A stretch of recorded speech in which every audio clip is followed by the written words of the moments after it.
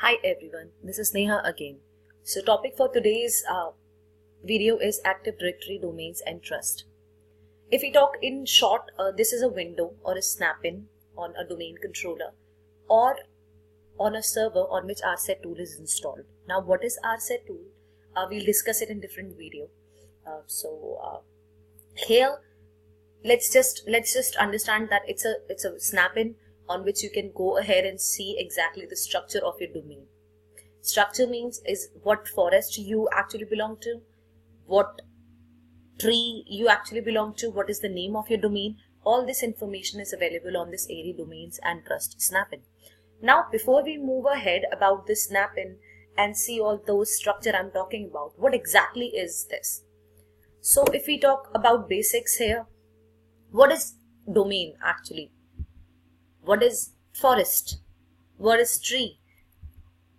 So what is all these basics we always hear about? I mean, if we talk about an Active Directory person or to a server manager, we, we always heard hear about these terms wherein what is domain or this is this belongs to this forest or this belongs to this tree.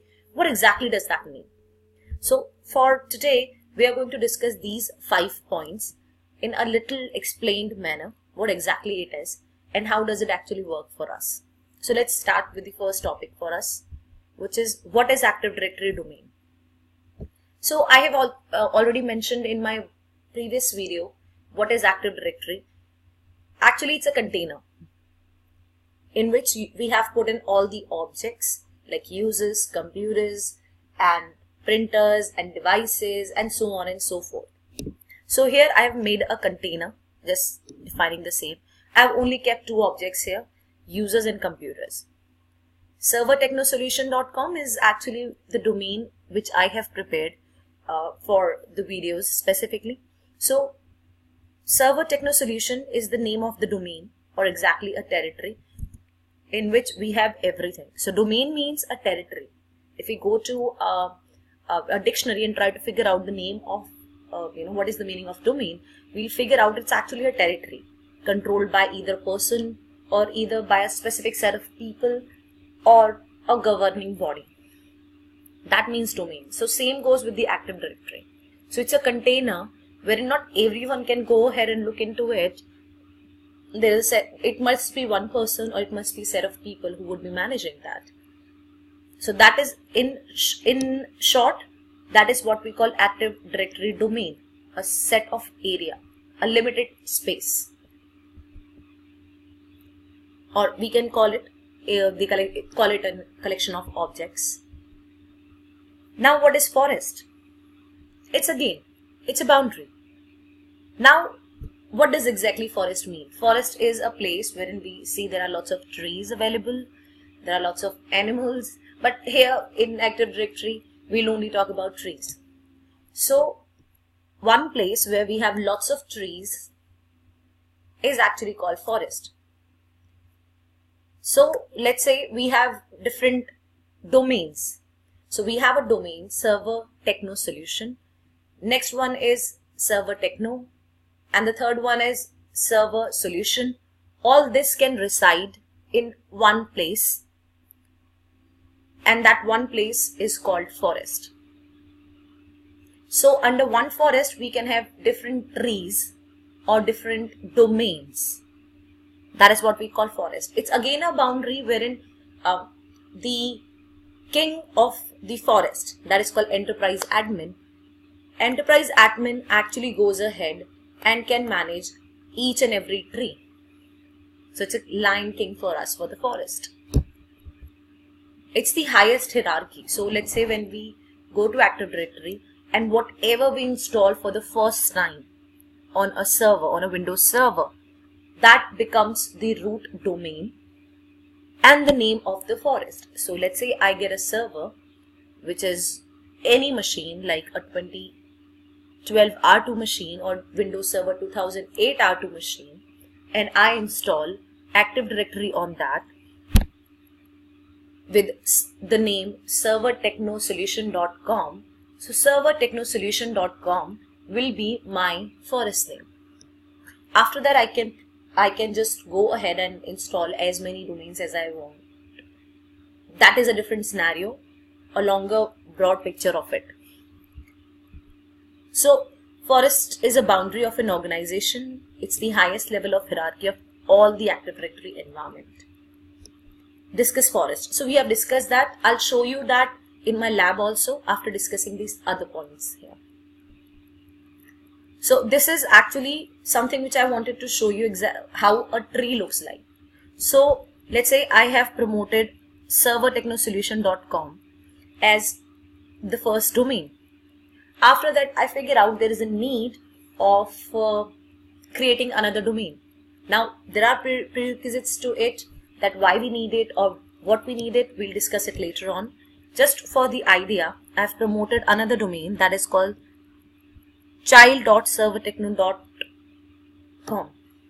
Below that, I have, I need it, I needed it. So I just gone ahead and uh, promoted one more domain, which is, I mean, here I mentioned child one again. We can give it, we can give it another name, which is child two, let's say.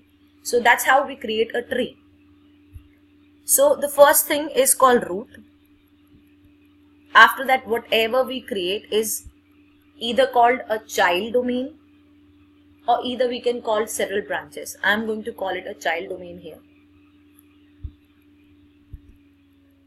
So what is Active Directory tree? It is a group of domain holding lots of domain branches within it.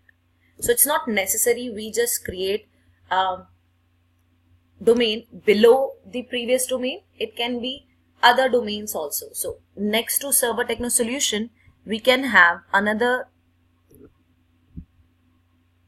tree or I would say domain, not tree, but domain that is called server.com, let's say. So that is going to be another branch of this tree and that's what we call Active Directory tree. So let's try to understand what we have discussed till now. If we talk about only servertechnosolution.com, we are talking about one domain. If we talk about several branches within it, which is let's say we talk about server techno solution, child.servertechnosolution.com and next to it we promote another domain that is called server.com, it becomes a tree. And under a boundary, we have several trees like that that is called servertechnosolution.com or so on and so forth and we have so many trees within a forest, that becomes a forest. Now it's not necessary to have lots of domains within a forest. There can be only one domain and we still call it a forest. So even if we have only one domain or one tree, it's still a forest. The forest name will be the first name of the domain or the first domain which we promote. In our case, it is servertechnosolution.com. So as I mentioned, branches of the domain follows the name of the root domain. So as you can see here, child.1 has servertechnosolution.com as the name, which is the root domain's name. So it always has the root domain name at the end of the other branches. Now what is Active Directory Trust? So guys, it's again a long topic. So as I don't want a very big video for us to go ahead and figure out what exactly, what is that. So I'm just going to prepare next video on this and uh, we'll actually discuss what actually Active Directory Trust is. So I'm just going to show you the domain and trust snap-in in this video. So let's go ahead and open it up.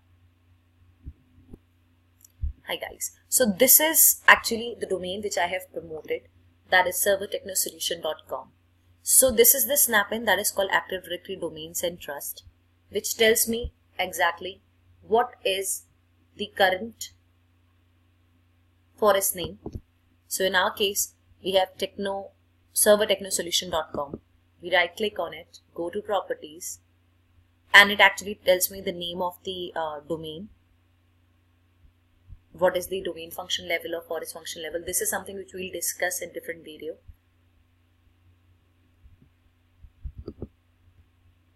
We can right click on the active directory domains and trust go to properties and while you click on that it says change forest.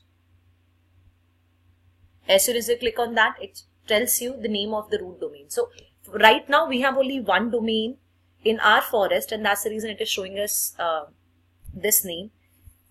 However even if I'll go ahead and promote different other domains or trees within this forest and I right click on it and click on change forest it will still show me this name because this is the first domain of this forest. So this is it for this video guys and in next video we'll discuss our uh, point which we left which is called what is Active Directory Trust.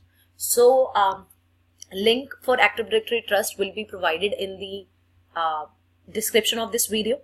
So keep following that and uh, thanks for watching this video guys. I'll make sure that I'll keep preparing these kind of videos for you so that you guys can keep learning and keep growing.